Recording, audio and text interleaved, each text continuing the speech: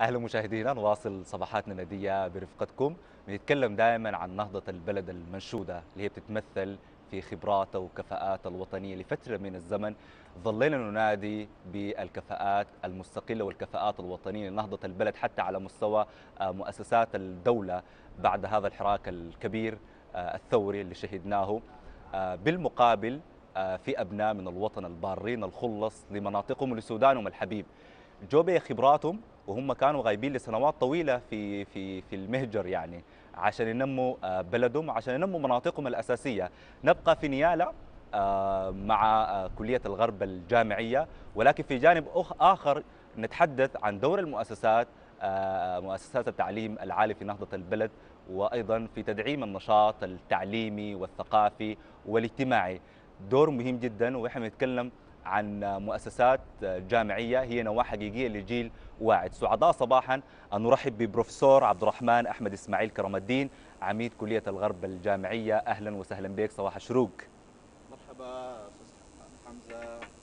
وأنا سعيد أن أكون اليوم ضيفا على هذه القناة المتميزة المشاهدة الرائعة. ويعني سعيد بهذه الإطلالة. وأرجو أن أكون ضيفا خفيف. الظل عليكم. الله يكرمك. بروفيسور إحنا نتكلم وظلينا في كل مرة بنتكلم عن الكفاءات الوطنية إنه أي شخص آه، يعمل في مجاله عشان نهضة البلد حتى وإن كان في منطقته. فلأي مدى ممكن عن طريق الكفاءات الوطنية نقدر آه، على أقل تقدير نسهم في بناء الوطن أو في بناء مناطقنا الأساسية يعني. آه، هي حقيقة الكفاءات الوطنية أو الكفاءات السودانية نحن دائما نعدها خير ثروة حقيقية للبلد. وهذه الثروة يعني نحن الآن نراها مهدرة لأنها هي مشردة في الخارج بشكل كبير يعني مع احترامنا للكفاءات الموجودة في الداخل. ولكن أقول جيد أن أن أن تلتفت يعني قطاعاتنا المختلفة وبخاصة قطاع الإعلام أن يفتحوا نافذة على هذه الكفاءات المهاجرة وعلى هذه الكفاءات الوطنية وذلك لفتح السبل لأن يعودوا ليعمروا هذا البلد. نحن حقيقة نراهن أن السودان هذا لا ينهض إلا بعقوله ولا إلا بأبنائه وكفاءاته المتميزة في مجالات مختلفة. فأنا سعدت كثيرا عندما رشحت عميدا لهذه الكلية آه، كلية الغرب للعلوم والتكنولوجيا بنيالا آه، كنت في السعودية فترة طويلة وحقيقة يعني عدت آه، متحمسا في ظروف صعبة. ولكني سعيد كل السعادة أن أسهم بما لدي من خبرات ضعيفة وعلى الأقل يعني ألقي في المياه الراكدة في في مجال التعليم بخاصة في ولايات نائية أها. بروفيسور يعني أنا مصر إنه نقيف في نقطة الخارج أنت ذكرت نقطة مهمة جدا بما يخص الكفاءات الوطنية ونحن في ظروف صعبة وتعقيدات في كل المشاهد يعني إذا كان اجتماعيا أو سياسيا أو ثقافيا حتى أو تعليميا.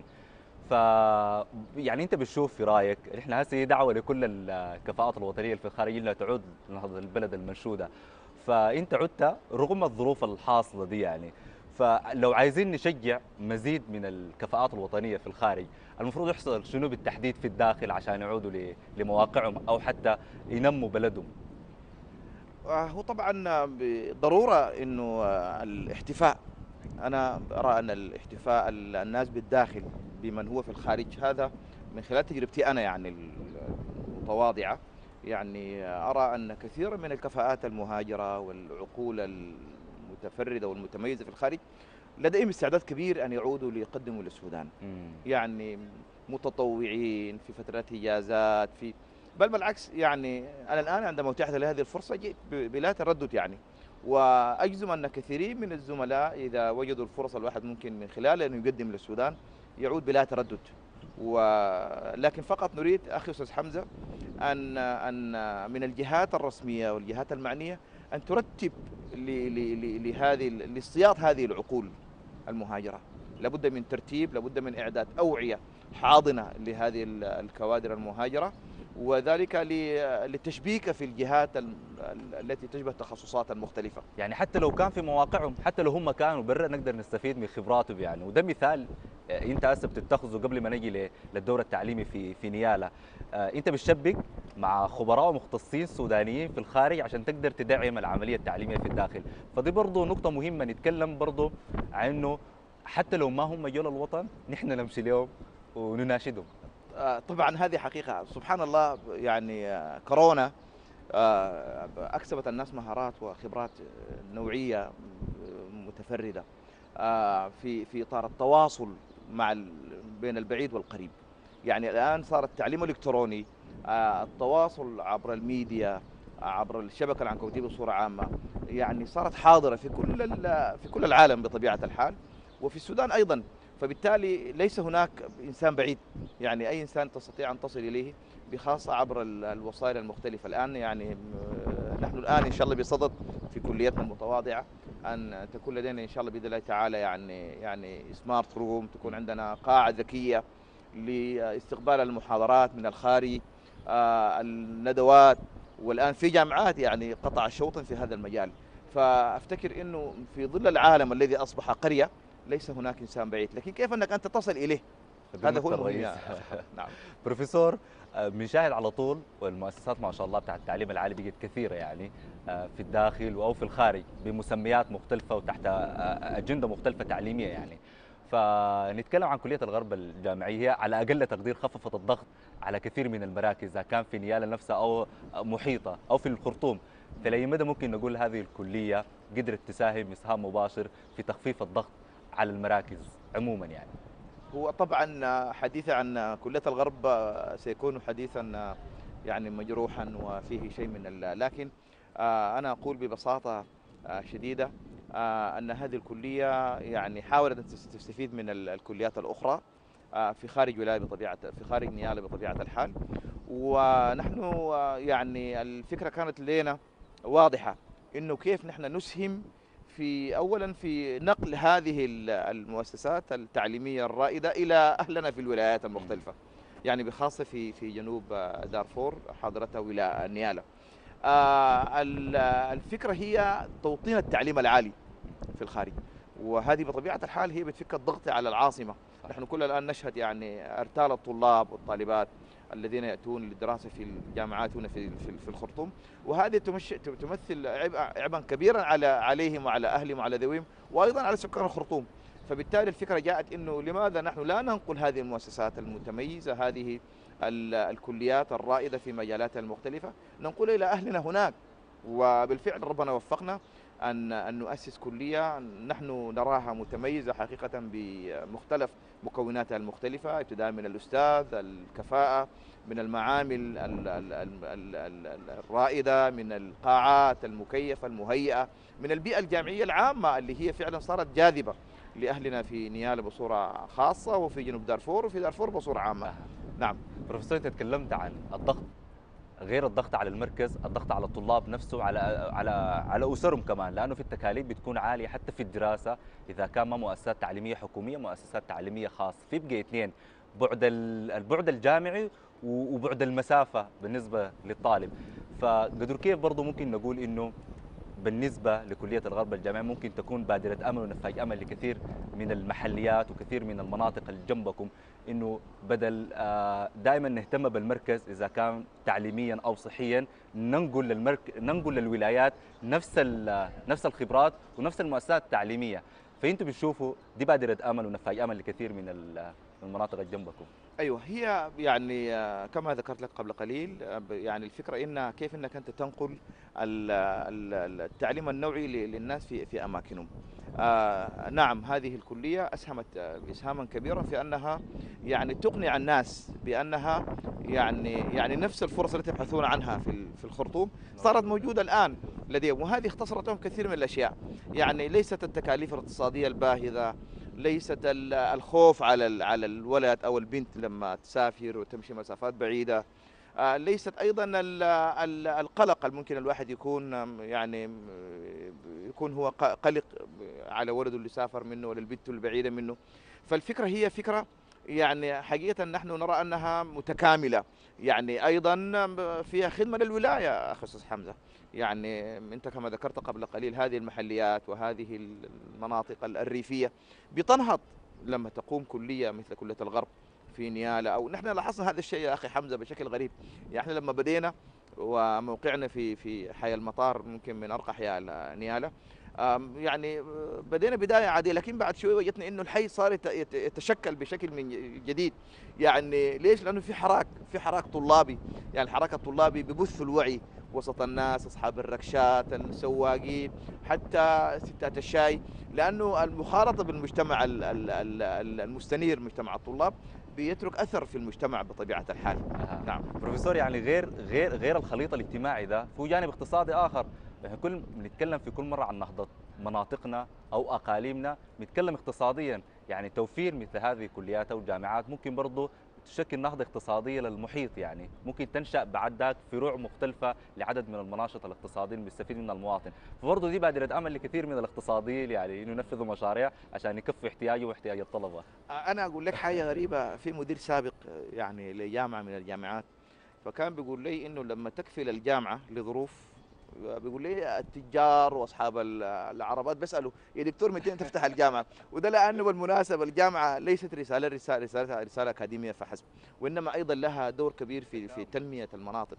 يعني أنت تخيل مثلا الآن لما يكون عندك مثلا 2000 3000 طالب في في في مدينة مثل نيالا أو أي مدينة من المدن تخيل إنه كيف إنه هم يحدثوا حراك في السوق وفي حركة المواصلات وأيضا الناس اللي بيجون بيزوروهم فبالتالي أيضا يعني بيكون في إسهام كبير للجامعات في في في في التنمية في في في الحراك الاقتصادي بصورة عامة. آه بيكون في مكاسب كبيرة يعني كما يقال يعني يعني فيها منافع كثيرة ممكن الناس يشهدونها من خلال هذه المؤسسات التعليمية. بروف كثرة الجامعات والكليات هي دليل عافية على نشاط التعليم ولا برضه خصم لأنه بنشوف في فترات أخيرة في معظم الكليات اللي بتنشط تقيف في فترة معينة وتشتغل في فترة معينة والطالب يكون مهدد يعني بالايقاف أو الاستمرار هو طبعا الآن يعني اسمح لي أقول لك إنه بزاويه شوفك أنت آه. تحليلية حتى لو ما كان للكلية تحت الغرب للكليات الأخرى يعني. أيوه. أنا أقول لك اولا جملة واحدة آه، كثرة الكليات آه، دليل عافيه لأنه هذه الكليات هي حقيقة تلبي حاجة المجتمع. يعني نحن نقول بصراحة هذه الكليات هي في النهاية يعني يعني بخاصه الكليات الأهلية الكليات الخاصة. على الأقل حتى إذا ما كانت ربحية بتكون كليات إنها آه، تشيل نفسها بنفسها يعني. فإذا المشروع ليس ناجحا بالتأكيد ما بتكون في كليات كثيرة بتفتح يعني. وده أنا أفتكر دليل وعي كبير للمجتمع السوداني.